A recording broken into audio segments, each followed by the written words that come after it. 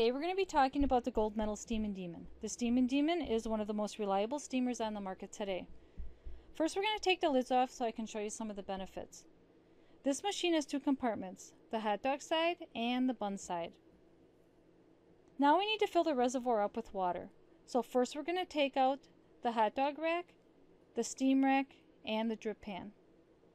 The drip pan is really important. It does catch all of the hot dog drippings so it doesn't drip into the water and collect around the heating element.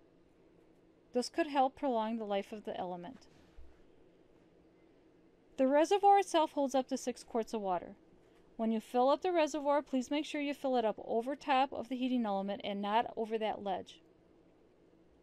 Distilled water is preferable, but if all you have is tap water, that's okay too. The machine will cook 80 to 90 regular size hot dogs at a time. If you put them in there frozen, it'll take about eh, 45 minutes to an hour. If you can put them in there thawed, it'll take about 30 minutes.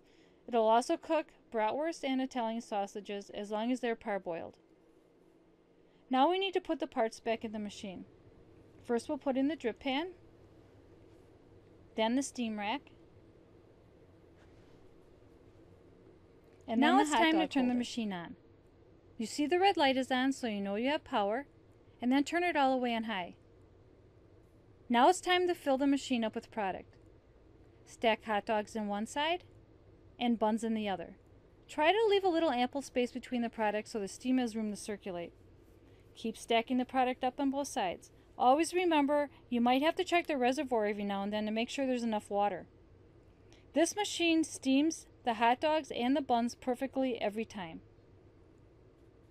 Now close the lid and let the steam do its work. Once you see it steaming, then turn it down to between 1 and 2. Now you're ready to serve this delicious product to your customers. Warm, fresh hot dog buns and a freshly steamed hot dog with your favorite condiment on it is the best. This machine is the perfect addition to any rental company, concession stand, or hot dog trailer.